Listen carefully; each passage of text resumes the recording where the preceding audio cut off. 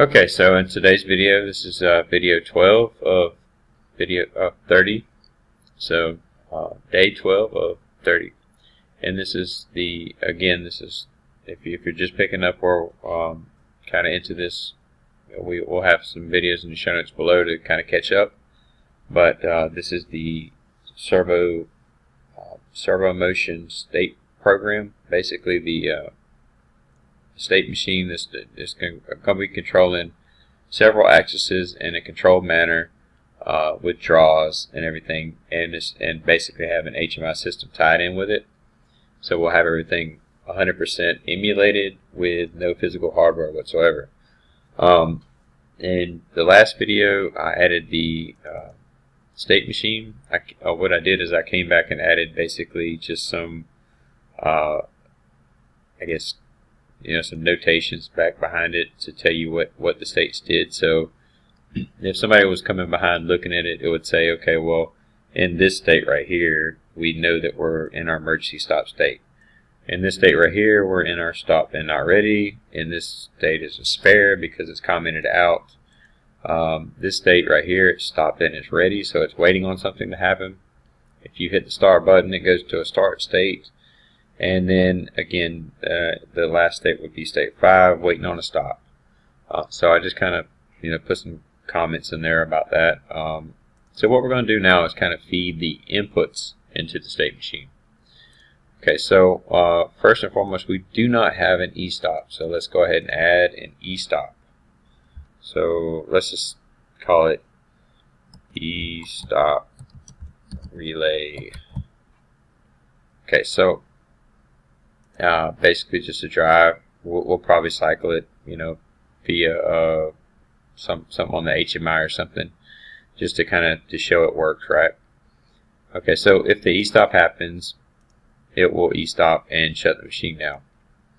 Now the not readies, uh, I kind of like to to add this into the system uh, and show you exactly what exactly what I'm talking about.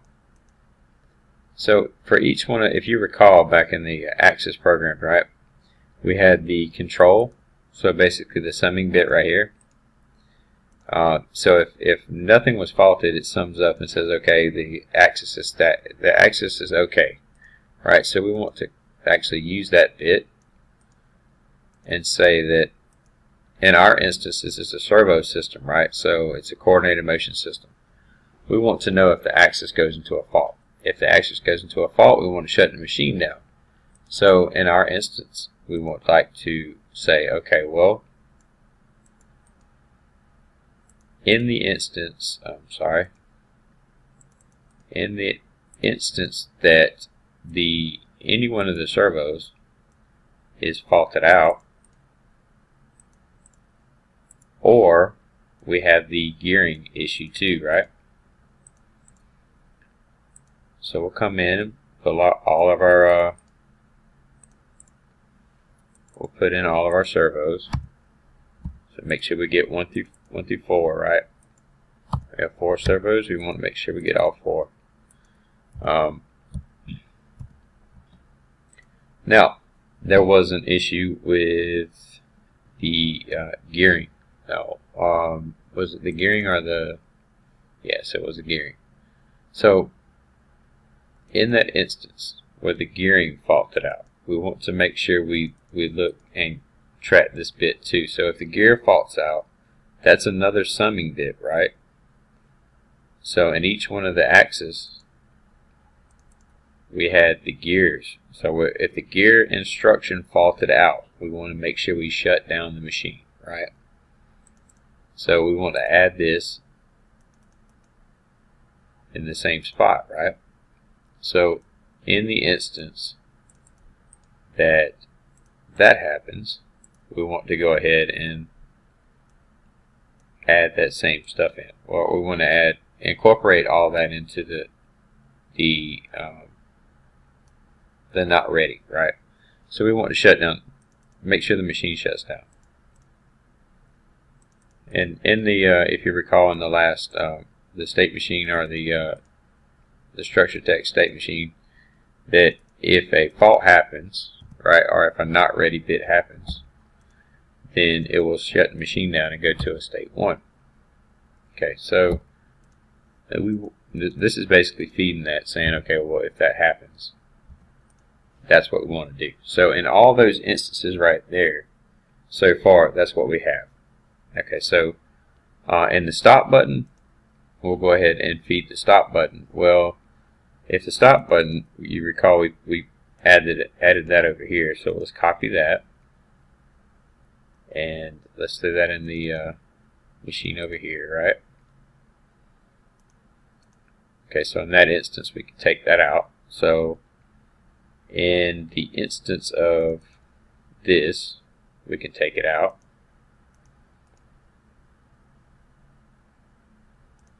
Because we're going to come back and put, we're going to come back and put the uh, output coming out of the state machine into that. Uh, we'll do that probably on the next video, but right now I just want to show the inputs coming in and how we're feeding, feeding those inputs. So, uh, with everything good, right? So, what we want to do right here is say that there's nothing faulted out. So again, this is kind of like another double check, right? Sorry about that. My mouse is kind of messed up. I just shot over there. The batteries are probably dying. So we want to make sure we drag all these down and say that if they're okay, they're okay. And I just noticed something. So I just noticed I typed in a 4 right here when it should have been a 3. So let's handle that real quick while we got it. And that solves that. Okay, so. Okay, so let's think about this. So if we have the axis OKs, then we should be ready to run, correct? Well, uh, I would say you are. Okay, because you don't have anything stopping you, right? So if all the axes are faulted are not faulted out, you should be okay to run. We're not looking at the gearing at that point because we don't actually gear until we start, right? So we should be good with that. Now, again, with the start button, the HMI start, and I'm just going to use the the keypad, so kind of bear with me. Okay, so with the start button, we'll copy and paste that. Take that back up here and paste. Okay, so with the start button, and we, we thinking we should probably put the one shots in there.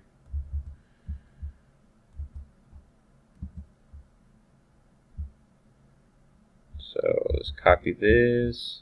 And again, we're going to come back and revisit this stuff. So let's copy this and throw the one shots in there.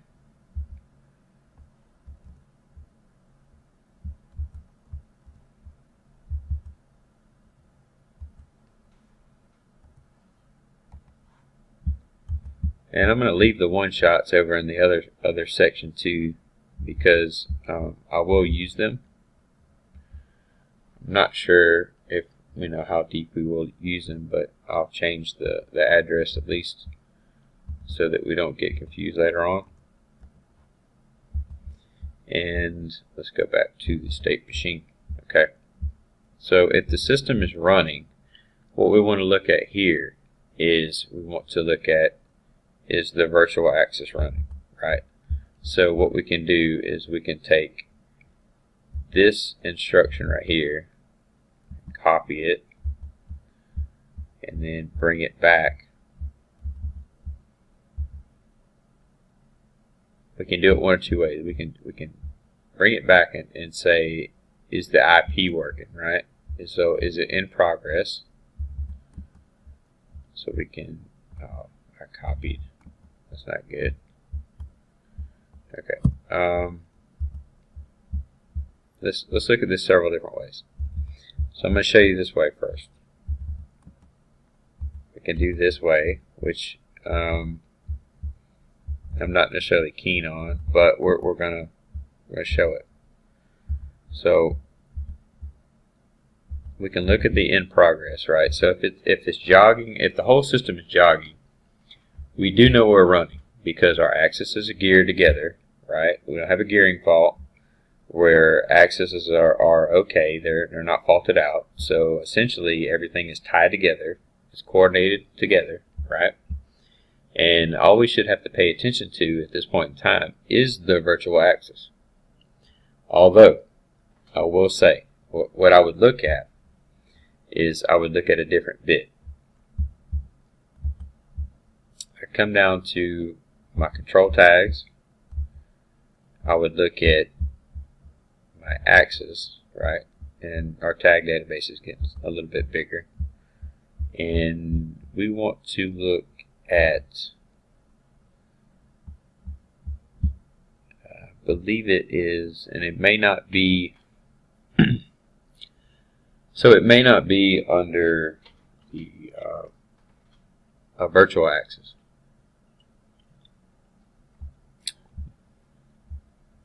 So I'm looking for the uh, basically I want to want to have a, a standstill. So you should have like a standstill, standstill window, um, and that's what you would normally use, right? To say basically if the system is is running or not running. Um, you can you can look at the velocity and just say that you're over a, a set velocity. You're definitely running. Um, so we'll do that. So we'll basically take the average velocity. And what we, I mean, we could take command velocity, but um, honestly, I, I would take average. We can we can basically say in the average velocity, I'm going to come down and say. So we can come down and, and add a compare and say if the average velocity is greater than, let's just say, 0.1 in our case. it, this is just our case, right? Because we're using virtual virtual axis, we do not have the standstill bit, or we do not have a, a um, anything of that nature. normally, a standstill bit comes default from Rockwell at like I think 10 maybe standstill window. Um, you can widen it, you can open it by GSVs, or, or not GSVs, but uh, SSVs. But um, in our case, we're going to go ahead and do this. So we'll basically come down and say if all the axes are over a set amount, we are running. Right. Okay, so what we want to say is, okay, we're jogging. We're definitely jogging, right? The jog feature, the jog command is not errored out, and it is in the, the in progress from where we told it to run right here, correct? So everything coincides with that. And then we are ac actually coming back verifying that each axis is running, even though we're ver verifying that they're geared up here. So if, if one of these were to fault out, it would stop the machine anyway. We are verifying that, that we are running. So we're kind of double checking our, our double check. We're, we're making sure that everything is officially running and doing what it's supposed to be doing. Um, in that instance, uh, that gives us our, our system running bit. So that would transition transition into a state 5. Um, it would it would make this the input state of 5 go high. In in our case of the state machine, that's what we would be looking at to go into state 5. So if the system is running, in our instance right here, if we're in 4 and we're, we're looking for this to go into 5, right, then that's what we're feeding it right here, then it would go straight into to um, that that state. okay, so with this said, let's go back through this just real quick. We'll run back through it. Okay, so we added our e-stop, which is our e-stop right here. That will bring the state machine out of whatever state it, it is currently in into a e-stop state and stop the machine. Okay, so in the second instance, so rung 3, we're basically saying if, if there's any axis fault or if there's any kind of uh, gearing problem that uh, axis didn't gear, then we're going to go ahead and, and make it a not ready bit. So we're going to take it out of whatever state it's in and take it to a state 1. In this stop scenario, if a stop button is pressed, it will stop the machine and go into a state 3. I say that because it will go into a state 1 and then jump in. If everything is ready, it will jump it back into a state 3. If you look at our, our state logic, it will jump into a state 1 because if a stop button is pressed right here at state 3, it jumps into a state 1. And if everything is ready, it's going to jump back into state 3. It's going to happen so quick that you can't see it. You can trend it and catch it that way. But it will happen.